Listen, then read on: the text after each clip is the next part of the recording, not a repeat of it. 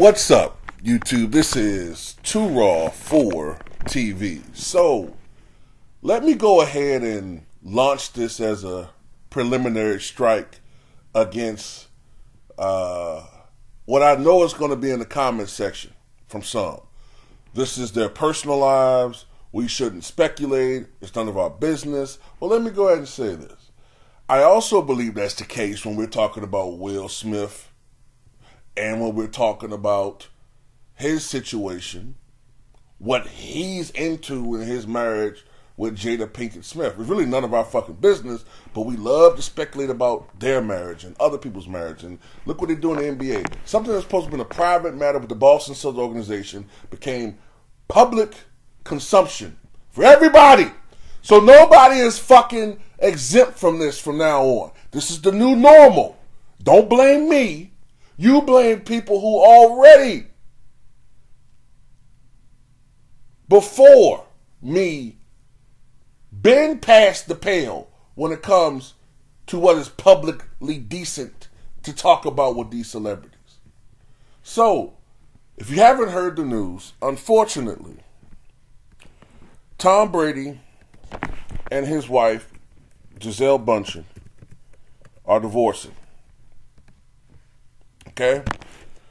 Now, this isn't something that I take pleasure in. I know I don't like Tom Brady, but there's nothing funny or fun about divorce. It's not. It's a breakup of a union that to me is holy. To me, that, and I'm not a religious person, but marriage is something that I hold sacred. I think anybody that cheats in their marriage, unless there is some type of uh, agreement or arrangement in that marriage, then that's something different. But generally speaking, if you do something in that marriage that is against what the other party wants, I find that to be an egregious affront.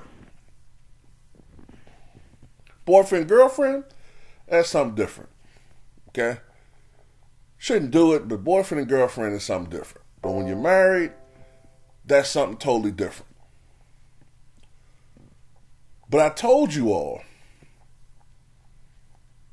that when Tom Brady took that leave, I said this back in August. There's something was wrong. Something was wrong in that situation. I could just sense it with the way that he was playing, the way he looked, his face. He wasn't content. And then the stories came out that he was having strife within his relationship. And I knew that that was going to have a tumultuous effect on his play this year. You can't have peace on the football field and be successful on the football field while your personal life is in disarray. It doesn't really work like that. Look, maybe when you're 20, 21, 22, 19, and you're single and you don't have these other responsibilities in your life, yeah, you can go out there and play great. But once you commit to having a family, once you commit to being married, um, that should be the balance of your life. And that's why I find Tom Brady culpable in this. Tom Brady, to me, became too wrapped up in his celebrity. I'm not trying to make Gisele Bündchen out to be some uh, innocent party totally. But from what I could tell, she has put her life and her career on hold for several years while Tom Brady got to play superhero in the NFL. And after 20 something years, and after 13 years of marriage, this was supposed to be it.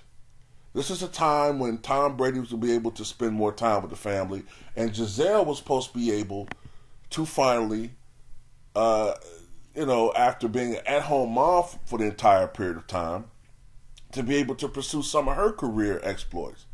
But then Tom Brady totally reneged on the situation and chose to play football again. And I think this is something that has been a problem for a little while. he doesn't seem to be content with wanting to be a, a, a father and a, a, husband. And some people are like, well, he don't have to be that. He could be a football player wanted to. Let me ask you something. if you were married to, mm, just trying to pick somebody out. Let's say you were married to Candace Parker, right? This is before she totally went fish, right? She still like beef. Let's say you were married to Candace Parker, and you're not just some regular dude, okay? You're, uh, let's say you're, you're, you're successful in your own right, but you're putting your career on hold, and you're taking care of the family, you're taking care of the kids, but Candace Parker is totally wrapped up in her career as an athlete and as a commentator, and she's rarely at home. The only time you hear from her is like some sporadic phone calls. Uh, you're taking care of shit at home, and then when you think that the sacrifice is over, she's like, "Nah, I'm going to still go do what I'm going to do." you, you you're still gonna have that feeling. You're still gonna feel like, okay, well, yeah, I understand. No, you're gonna be like, are we married or what? Aren't we enough? Aren't we enough? Our, our family? No, totally. really, be honest with you, you even got to start thinking: Is she really even committed to me anymore? She's probably fucking whoever. And that guy that has to go through Gisele in mind after a while. She wasn't enough. Um, the family wasn't enough. The thing that really gets me, man, is he picked his career over his family. And people can spin it how they want to. That's awful.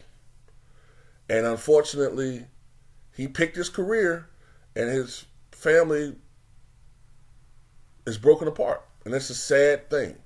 It's really fucking sad and um, the Buccaneers are three and five. He's having the worst season of his career. He should have never came back. I'm pretty sure he has a lot of regrets right now. And as much as I get on Tom Brady, right there, I, my heart goes out to him. My heart goes out to him because you don't want to see that. But sometimes, man, people aren't joking when they say, look, I'm tired. I'm sick and tired. Okay? I'm tired. You, you gotta make a choice, man. Is it your career, your fame, or is it us? And he chose the former. So, tell me what you guys think.